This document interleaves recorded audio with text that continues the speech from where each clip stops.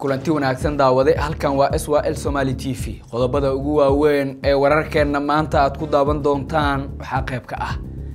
Dowladda soomaaliya oo dekeda muqdisho kala soo degtay hubkii ugu casrisanaa abid iyadoo sidoo kale etoobiya ay bilowday dhaqdhaqaaqyo ay kaga soo horjeedo qorshaha hubka dowladda masar ay ku keenayso soomaaliya.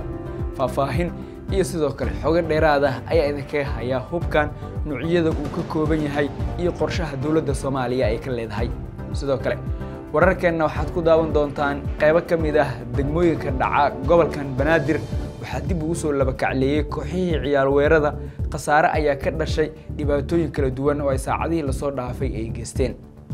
Waan eegi doonaa qodobada kale ee wararkeennana aad ku daawan doontaan. Waxaa qayb ka ah dhaqdhaqaaqyada ku aadan afduubka ka socda deegaano ka tirsan gobolka galguduud aad ayay u kordheen. Jaanis ma siin karaan in culeyska uu ka dego kooxda al-shabaab. Wararkii u dambeeyey ayaan eegi doonaa qodobadaas oo dhan ayaa wararkeenna maanta ku daawan doontaan. Waa isniin taariikhdu ay ku beegan tahay saddex iyo labaatanka bisha sagaalaad ee setembar sanadkuna waa labaatan afar iyo labaatan. Haddii tahay markii kugu horreysay aad soo booqatay janalkeenna waxaan kaa codsanayaa inaad xukumato si ay kuu soo gaaraan.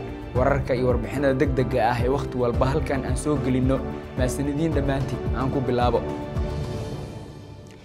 dekeda weyn ee magaalada muqdisho xalay dowladda soomaaliya waxay kala soo degtay hubkii ugu casirsanaa abid ee dowladda soomaaliya ay la wareegto tan iyo burburkii dalka ka dhacay kadib. Markab weyn oo dagaal oo ay leedahay masar ayaana ku soo xirtay dekedda iyadoo hubkaasi laga daabulay markabka.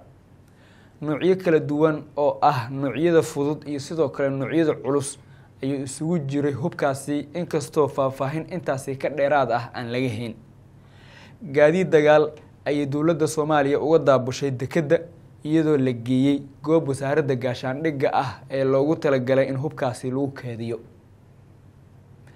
Xalay markii uu soo degeeyey hubkaasi dhammaan waxaa la xiray waddada ku teedsan amba waddada xiriirisa dekeda muqdisho ilaa laga gaarayo aagga wasaaradda gaashaandhigga iyadoo dadka shacabka ah loo diidayey isku socodka gaadiidka iyo sidoo kale midka dadweynaha.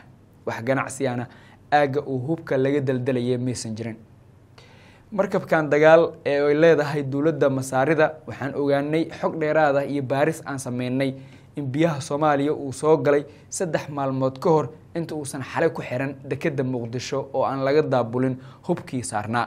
Hubkan dowladda soomaaliya wuxuu isugu jiraa hub ay iida iibsatay oo ay dhaqaale ay ku bixisay iyo sidoo kale hub ay ugu yabooheen dalalka dhinaca amniga ka taageera soomaaliya oo ah in sidii ciidanka dowladda ay kaga adkaa lahaayeen kooxaha argagixisada ee gudaha soomaaliya ka dagaalama. Laakiin wuxuu ku soo aaday hubkan oo ay la wareegtay dowladda soomaaliya. Waqti aada u qaraar oo gobolka xiisad ay ka taagan tahay iyadoo aada loo qiimeynayo heerka uu taagan yahay xiisadda dhinaca diblomaasiga ah ee ka dhexeysa dowladda soomaaliya iyo sidoo kale etoobiya sidoo kale wuxuu hubkan soo degay iyadoo masar iyo etoobiya heerka ay kala taagan yihiin si weyn loo ogyahay islamarkaana ciidanka masaarida gudaha soomaaliya ay ku soo geli doonaan howlgal cusub oo nabad ilaalin ah.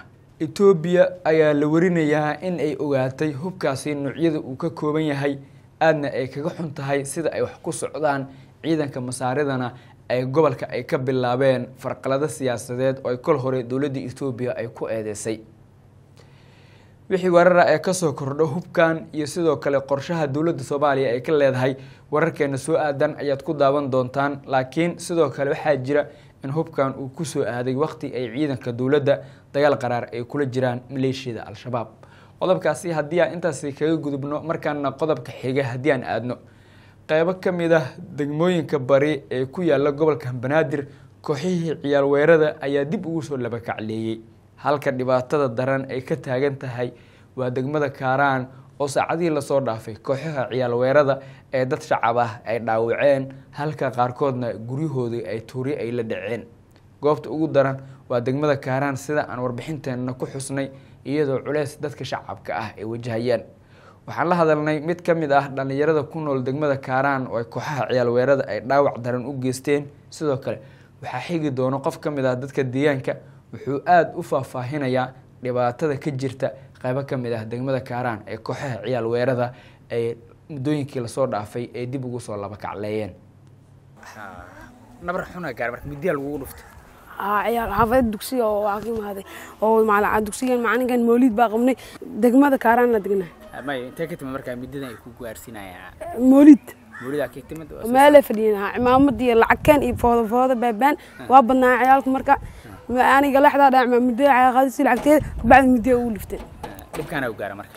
Xaafadda ka war maalmaha see soo noqotay ciyaal weerada ciyaal weerada waa soo bateen gurigii dhibaato. Baa qabna ilbaabka daraad waa nooga jabsho waa noola booteeyey guriga xataa mar gurigan oraxaan oo soo gasho Hay. marka culeysaa jira dareemaysa haa unuga hadda waa shi baa iska dhaana maayana wax qabanaa male ciidana la keenaa beebeena noola dhahaa dhibaataa qof walba la dilaa kan ciyaalo weero ku jirya iyo waxaas ma yaqaani waa iska kaa dilaa maa qofaa noolka ciyaal ciidankii horuu joogay ma tabteen bolis militaar waa joogeen laakiin maalinkaas waa loo boga laakiin haddana waa la qaaday maana lama tirin dugsigan dugsi qur'aan waaye galabtii kow iyo toban sac markii la gaarina ciyaalka waa laga fasaxaa. Ciyaal weera awgoodana loo fasaxaa. Saan u gala waxaa u galay dhagax leewa dhagax waxsaan u galay dhagaxaan leewa tuurideed waaye bes dugsi qur'aan. waaye. Waa- lagu- gambanaa waa la- waa la soo tuurinaya ciyaalka waa la fasaxaa marka ma fadhitaan marka caruurtii ku jirto marka loo nixmaayo ma loo naxaa galabtii waa fasaxaya macalinka saas ka dhigaba.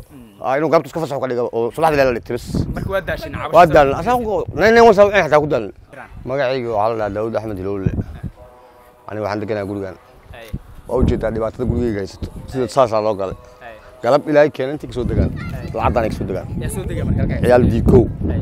kuwan kalena intay ka imaadaan oo Hay. meeshaan laysku qabsanaa mar waxaa laysku qabsanaa xagga marba meel laysku qabsanaa guryan saan loo jibinaya cid kastoo wacnan waxna loo qaba diiday kuwa ciidanka sata koofiga lambaraadkooda xataa waa soo qortay intaad tegey wax iga caawino waaye lambarka booliiska ma wacdeen booliiska nine nine one waa wacay laba jeeraan wacay Hay. wax oo ciidan ii imahayn ma arkin waa soo diraha dhahay wax soo hadduu soo amrana ma ii imaanba maamulka degmada maamulka degmada ma aqaanba ma wixin Hay. Eh, waa la tibiyey dhibaatada idinku idinayso maamulku leeyihiin degmadu waxba kama jiro maxaa warkaas ugu jawaabay? Degmada aniga war kama hayo degmada lama xariidinba Eh, laakiin ciidanka booliiskan wacan ciyaar weeradii dib uma soo bilaaban amni waa degmada ma waa been taas waa been taas waa been ciyaal weera saa'id weliba ka socota xaafadeen anaga aa maalin ilaahay keena waa kow iyo toban saac galabnimo ka socdaan. Dib u soo bilaaban shala gala bisaan weyne hadda ku sheegaa shala gala bisaan weyne u ana soo arkay. aa si fiican u soo bilaabay as leedahay? Waxaan u baahan waxaan u baahannaha anaga amniga u baahannaha tahay dowladda anaga wax waxay nagu- naga rabto diyaar aan lanaha laakiin waxaan u baahannaha amni.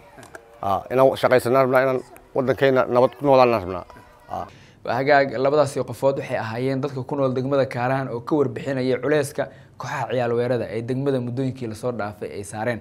Maamulka degmada kaaraan oo ka hadlay in ciyaal weere ay dib u soo laba kacleeyeen wuxuu ku sheegay been abuur islamarkaana warbaahintu ay buubuunineyso tiyo ay jirtay dhibaatada shacabka ah ay codsanayaan in laga dulqaado maamulka ayaa doorbiday in warbaahinta uu caburiyo islamarkaana uu baraha bulshada uu ka weeraro.